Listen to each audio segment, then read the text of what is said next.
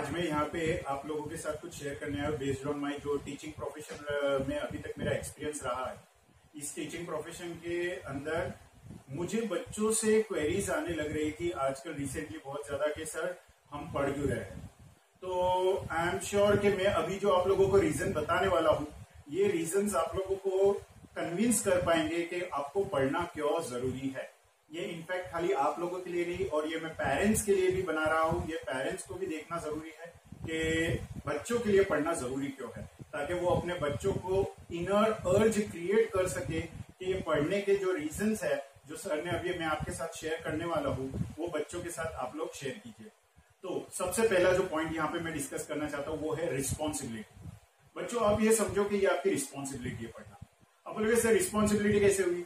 आपके जो mom dad है, वो भी तो कोई ना कोई रिस्पॉन्सिबिलिटी उठा रहे आपके डैड की अभी क्या रिस्पॉन्सिबिलिटी है? To earn to earn for the living आपके फैमिली के लिए जो भी अर्निंग नीड्स होती है, वो कौन पूरा कर रहा है? आपके फादर जो सुबह से रात तक मेहनत करते हैं, काम करते हैं तो ये वो अपनी ज़िम्मेदारी का पालन कर रहे हैं। वैसे ही, आपके मॉम आपके मॉम क्या देखते हैं कि घर के सभी लोगों की जो भी रिक्वायरमेंट है होमली नीड्स वो फुलफिल करने की रिक्वायरमेंट ज़रूरत कौन पूरी कर आपके घर में आपके मदर पूरी कर रहे हैं तो यहाँ पर आपका एज अ किड रोल क्या बनता है?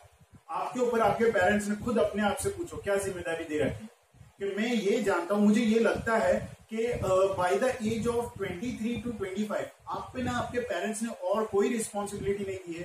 That is just to learn to develop some skill in yourself आप लोग कुछ प्रोफेशन चुन लो और अच्छे से अपने आप को डेवलप कर लो सेट करो। आप अपने आप के लिए अर्न करने सीख सीख जाओ। यही आपके ऊपर अभी तक रिस्पॉन्सिबिलिटी आपके पेरेंट्स ने दे रखी है, जो 23 25 इयर्स के एज तक आप लोगों को अपनानी रहती है अप्रोक्सीमेटली तो मेरा ये सबसे पहला बिगेस्ट रीजन ये ये है कि आप लोगों को पढ़ना क्यों चाहिए वो है कि आपकी अभी ये रिस्पॉन्सिबिलिटी है, आप पे और कोई रिस्पॉन्सिबिलिटी अपने पेरेंट्स ने डाल नहीं रखी है बेटा. सेकेंड वेरी इंपॉर्टेंट पॉइंट जो यहाँ पे मुझे लगता है आपकी खुद की सेल्फ रिस्पेक्ट आप बोलोगे, सर सेल्फ रिस्पेक्ट के लिए पढ़ना? हाँ आप भी, आपकी भी कोई सेल्फ रिस्पेक्ट होती है। अभी आपकी फैमिली आपके सिबलिंग्स आपके रिलेटिव्स आपके नोन पर्सन जो भी आप सोसाइटी में, जो भी बिल्डिंग में, जहाँ पे भी आप रहते हो, वहाँ के लोग, आप लोगों, आपको खाली एक ही पैरामीटर पे इवेल्युएट करते हैं। वो है आपके स्टडीज़ ग्रेड्स मार्क्स आप क्या कर रहे हो? आप क्या लर्न कर रहे हो? आप कितना एक्सेल कर रहे हो? या तो करिकुलम या को करिकुलम एक्टिविटीज़ में आप किस चीज़ में ज़्यादा क्रिएटिव हो। आपके लिए यही एक बेंचमार्क सेट कर देते हो लोग। और आपको इसी चीज़ पे आंकना स्टार्ट कर देते हैं। आपको ये देखते हैं कि आप कितने अच्छे ग्रेड सिक्योर कर रहे हैं। तो उससे होता क्या है कि अगर आप अच्छे ग्रेड सिक्योर करोगे, आप या तो को करिकुलम एक्टिविटी में एक्सेल कर रहे हो, जैसे ड्राइंग पेंटिंग डांसिंग कोई भी तरीके की एक्टिविटी जिसमें आप एक्सेल करते हो तो वहाँ पे भी आपका एक बेंचमार्क सेट हो जाता है। वो लोग देखते हैं कि बच्चा ठीक है, पढ़ाई में नहीं, कोई को करिकुलम एक्टिविटी में एक्सपर्ट है, उसके अंदर अच्छा कर रहा है। तो ये क्या होता है, आपको जिस तरीके से कमेंट्स आते हैं सबसे वो आप लोगों के कॉन्फिडेंस लेवल को या तो बूस्ट करेगा या तो तोड़ देगा।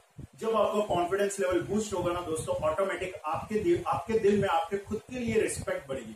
और जब आप अपनी, आपकी रिस्पेक्ट करना स्टार्ट कर दोगे, दुनिया का कोई भी इंसान ऐसा नहीं रहेगा कि जो बंदा खुद की रिस्पेक्ट करता हो तो दुनिया का कोई भी बंदा उसकी रिस्पेक्ट ना करे। तो आपको आपके सेल्फ रिस्पेक्ट अर्न करने के लिए पढ़ना या कोई भी क्रिएटिव स्किल सीखना बहुत ज़रूरी है। थर्ड पॉइंट जो मैं यहाँ पे आप लोगों के साथ शेयर करना चाहता हूँ वो है इट ट्रिगर्स योर एक्शन आप ये समझो कि आप कोई भी स्टडीज़ करते हो, कोई भी क्रिएटिव स्किल्स अपने अंदर इंकलकेट करते हो तो जब आपने पढ़ा, आपने पढ़ाई की, आपने कोई भी या तो प्रोफेशनल के अंदर स्टडीज़ की तो ऑटोमेटिकली आपका माइंड उस स्टडीज़ के रिलेटेड उस लर्निंग के बेसिस पे एक्शंस या कोई काम करने के लिए स्टार्ट करेगा। देखो, खुद दिमाग लगा अगर आप एमबीए करते हो तो आप क्या स्टार्ट करना चाहोगे? आप कोई ना कोई बिज़नेस को एडमिन करना या बिज़नेस को मैनेज करने के रिलेटेड प्रोफेशन में या तो जॉब में या तो अपने ही खुद के बिज़नेस के अंदर एक्सेल करने का सोचोगे। अगर आप कोई चार्टर्ड अकाउंटेंसी का कोर्स अडॉप्ट करते हो तो ज़ाहिर सी बात है, अब जो चार्टर्ड अकाउंटेंसी की फ़ील्ड के अंदर जो काम होते हैं रिटर्न फाइलिंग अकाउंटिंग ये सब के अंदर ऑडिटिंग ये सब के अंदर एक्सेल होने का ट्राई करोगे। ऐसे ढेर सारे एग्जाम्पल्स है। अगर आप साइंस स्ट्रीम से बिलोंग करते हो तो आप साइंस स्ट्रीम के अंदर जो भी प्रोफेशन हो उसके अकॉर्डिंगली काम करना स्टार्ट करते हो। तो अगर आप कोई पहले लर्निंग लोगे, कोई एक स्पेसिफिक नीच एरिया के अंदर कोई लर्निंग लोगे, कोई एक प्रोफेशनल बेस्ड स्टडीज़ हो गई, या कोई भी करिकुलम रिलेटेड या कोई आपने एक्स्ट्रा करिकुलम या आपने कोई क्रिएटिव स्किल्स अपने अंदर डेवलप की अकॉर्डिंगली आपके एक्शन ट्रिगर होंगे दोस्तों। तो अगर आप उस तरीके से एक्ट करना स्टार्ट करोगे और ज़ाहिर बात है, अगर आप एक्शन लोगे तो आपको रिज़ल्ट आने ही आने हैं। और रिजल्ट्स आएँगे, आपको खुद को पता चलेगा, आपको खुद को फील होगा yes I am doing something तो इस इस फीलिंग के लिए, इस इनर सेंस के लिए आपको पढ़ना बहुत ज़रूरी है। और यही जब आप एक्शंस करते हो रिजल्ट्स आते हैं तो आपके जो बार बार रिजल्ट्स आते हैं, इसी से निकल करके आ रहा है मेरा fourth point that is public standing अगर आपके रिजल्ट्स आने स्टार्ट हो जाते हैं, दोस्तों तो आपकी एक पब्लिक इमेज बनना स्टार्ट हो जाती है। ये पब्लिक इमेज बनाना भी बहुत ज़रूरी है। पब्लिक इमेज आपकी बनेगी कैसे? आप दूसरों के लिए एग्ज़ाम्पल कैसे सेट हो सकते हो? आप दूसरों के लिए बेटा एग्ज़ाम्पल सेट पाओगे सेट कर पाओगे, अपने आप को एज एन एग्ज़ाम्पल पुटअप कर पाओगे जब आप कुछ काम करोगे। जब आप कुछ ऐसा इनोवेटिव या क्रिएटिव काम करोगे, लोगों से हट के काम करोगे, जिसकी आपकी सर्विसेज़ या आपके प्रोडक्ट जिसमें भी आप जाओ, उसकी कोई मार्केट वैल्यू हो, लोग आपको देख रहे हैं, लोग आपको समझ रहे हैं, लोग आपके एक्शंस देख रहे हैं, आपको एज ए डूअर देखते हैं। आपको एज ए प्रोकास्टिनेटर नहीं, आप कुछ काम कर रहे हो, आप कुछ काम करने लग रहे हो, आपको रिज़ल्ट आ रहे हैं। तो इस बेसिस पे भी लोग आपको देखते हैं और आपकी एक पब्लिक इमेज पब्लिक स्टैंडिंग होना स्टार्ट हो जाती है। और पब्लिक स्टैंडिंग पे मैं एक बात कहना चाहता हूँ। यहाँ पे एक बहुत अच्छी सेइंग है कि इंसान अपने कर्मों से जाना जाता है। तो आप अगर कर्म करोगे, और जो, मेरी बात समझो, हर कोई जैसा काम कर रहा है, वैसे ही आप भी करोगे तो आप में और उनमें डिफरेंस क्या हो गया? तो आपको क्या वो जो 95 परसेंट लोग जो काम करते, उसमें आना है कि जो टॉप फाइव परसेंट के लिस्ट के लोग है, उसके अंदर आना है? किसको ये डिज़ायर नहीं होता है? किसके लिए ये गोल नहीं होता है? सबके लिए होता है, लेकिन हर कोई उसके लिए रिलेटेड एक्शन नहीं ले पाता है। तो अगर आपको कोई पब्लिक स्टैंडिंग या पब्लिक इमेज क्रिएट करना है या किसी और के लिए एग्ज़ाम्पल सेट करना है तो आपको बेटा पढ़ना होगा। और पढ़ाई आपके लिए दस doors it will open up various doors for you आपके लिए दस दरवाजे खोल करके और फिफ्थ पॉइंट से इसी से निकल करके आता है, वो है अपॉर्चुनिटी ग्रैबर आप एक अपॉर्चुनिटी ग्रैबर बन जाते हो। आप जैसे पढ़ते हो, काम करते हो रिज़ल्ट आते आउटकम आते पब्लिक इमेज बनती स्टार्ट हो जाती है। आप हर, जो भी फ़ील्ड में जाओगे, उस फ़ील्ड के अंदर कोई ना कोई इनिशिएटिव लेने की आपके अंदर हिम्मत आ जाएगी।